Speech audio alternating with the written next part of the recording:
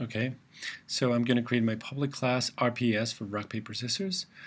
I'm going to create my main method, public static void main, where I'm going to type my program. This is just because of Java, but again, um, in programming, in higher programming, you will know what this means, but for now, this is just the start of a Java program, and whatever programming you do goes in here.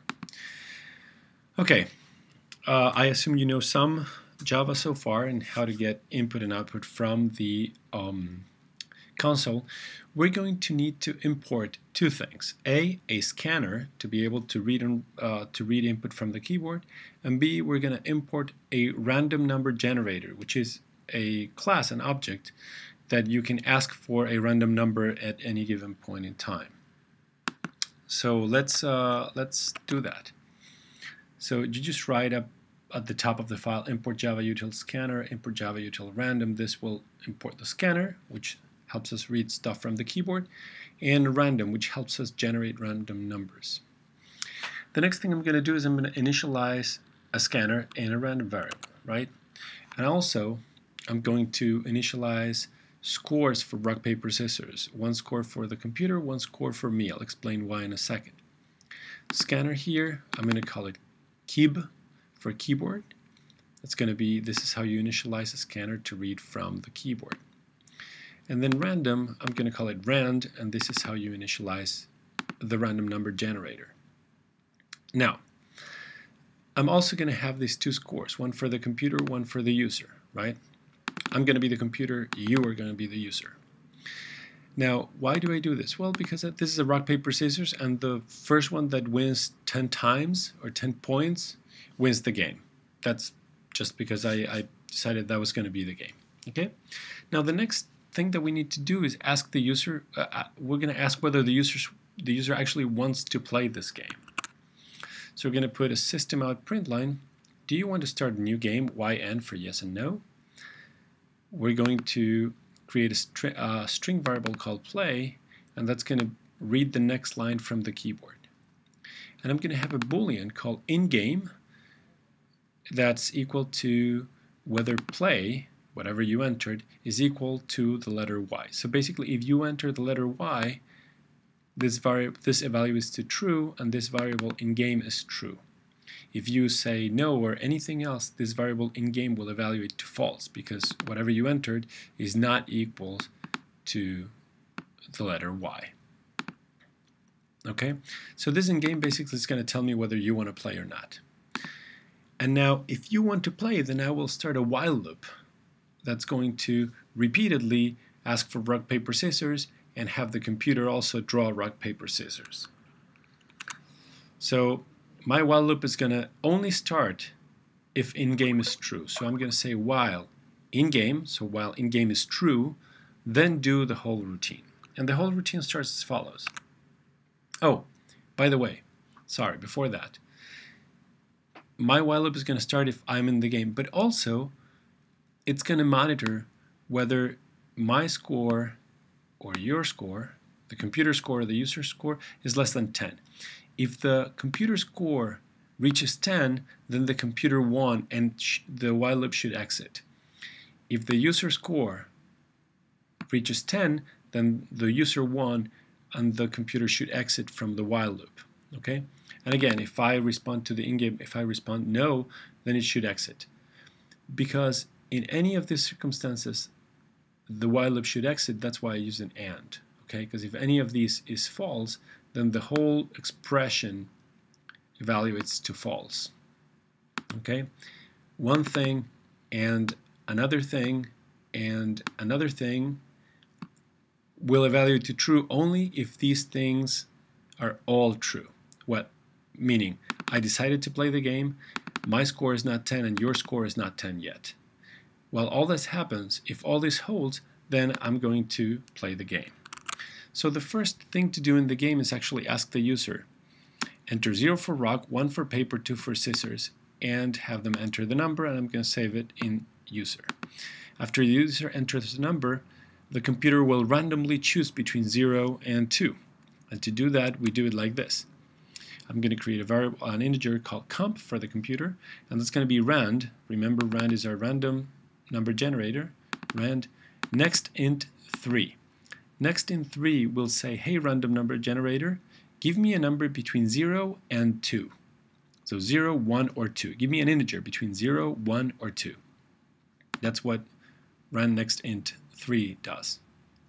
So now the user played, the computer played, now we'll print out what what the result was, right? So for the computer, so you know what you entered, and then the computer will say, I drew whatever this number is, right? Whatever that number is. Now the next thing is we want to compare it. So for example, if the user chooses rock and the computer chooses uh, uh, scissors, for example, then the user wins. If the user chooses 1 for paper and the computer uses two, uh, 0 for rock, then the user wins. If the user chooses 2 for scissors and the computer uses 1 for paper, then the user wins. So if the user chooses 0 and the computer uses chooses 2, that's it. The user choose, chose rock and the computer, me, chose scissors, the user chose paper and the computer chose rock, or the user chooses scissors and the computer uses rock, what happens? These are all the, the instances in which the user wins. And when the user wins, I will print out you win and I will increase the user score by one. Else, so in, in other case, now what if the computer wins? The computer wins if the following happens. If the user chooses rock and the computer uses, uh, if the user chooses uh, rock and the computer chooses paper, if the user chooses paper and computer chooses scissors, or if the user chooses scissors and the computer uses uh, chooses rock. Those are all the times in which the computer wins. Therefore, we'll print I win and increase the computer score. Now, a few things to notice. This is one condition in parentheses or another condition in parentheses or another condition in parentheses. And I have to close the parentheses that I opened when I started the if. So be careful of the parentheses here. The same thing happens in this second if. So I have the two cases where the computer wins or I win and the scores increase. So the next step is display, to display this, right? So score U, whatever the user score is so far, and computer, whatever the computer score is so far, right? Then what we're going to do underneath this